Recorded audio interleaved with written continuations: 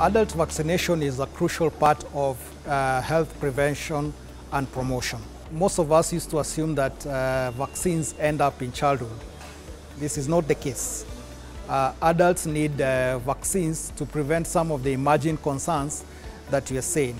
A case in point has been the COVID-19 disease. The severity and outcomes of COVID-19 has changed so significantly because of the COVID vaccines being instituted. But it's not only COVID.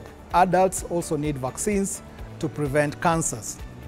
So for instance, uh, young adults and adolescents, uh, female adolescents especially, will need uh, vaccines against cervical cancer.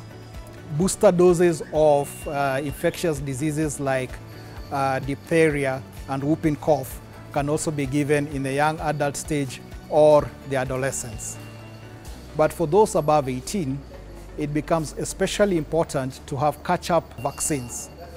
We've seen for people who are especially exposed, like healthcare workers, requiring booster doses of hepatitis B vaccination. Patients with chronic diseases, especially uh, non-communicable diseases like diabetes, asthma, heart failure, chronic kidney disease, require extra vaccines so that they can protect themselves from infectious diseases.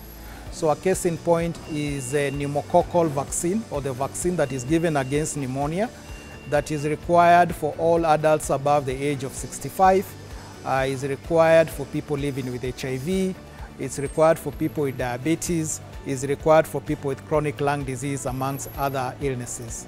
So for adults, we encourage you to visit a doctor who is conversant with adult vaccines so that you can have a discussion to see which are the relevant vaccines that are required for you.